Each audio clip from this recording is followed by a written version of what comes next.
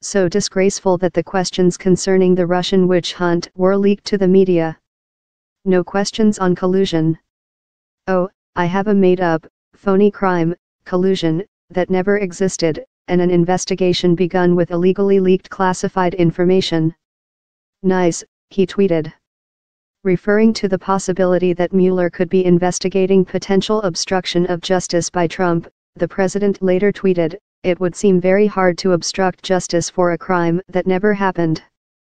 Witch hunt. Mueller is interested in asking Trump a variety of questions related to the 2016 campaign and people from Trump's personal life, business interactions, and administration, according to Mueller's list of questions for Trump obtained and reported on by the New York Times.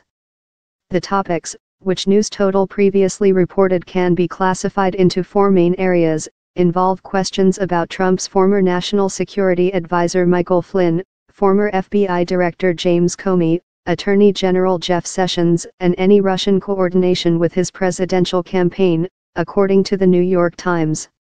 It's unclear to whom Trump was referring about the leak.